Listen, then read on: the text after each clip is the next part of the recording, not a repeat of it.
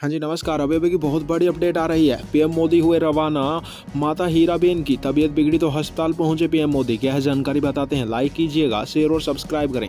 Headline network पर आपका स्वागत है। आपको बता दें, कुछ फेक चैनल्स तो पीएम मोदी की माता की मृत्यु की खबरें फैला रही हैं, जो कि फेक हैं। और वहीं आपको बताएँ, माता हीराबेन की तबीयत का हाल जानने के लिए अस्पताल में पहुँच गए पीएम मोदी।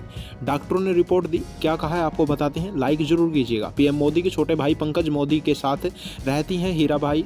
गांधीनगर में। वहीं अहमदाबाद के हॉस्पिटल में भर्ती करवाया गया है और फ़िलहाल तबीयत है जो वो स्थिर बताई जा रही है, लेकिन यहाँ पर अभी डॉक्टरों की टीम है जो सिविल अस्पताल में वो जाँच कर रही है और निगरानी में रखा जा रहा है। उनकी हालात स्थिर बताई जा रही है, ये बड़ी अपडेट है आप सभी के लिए। लाइक कीजिएगा वीडियो को और कामना करें कमेंट बॉक्स में कि पीएम मोदी की माता की तबीयत जल्द सुधार करे।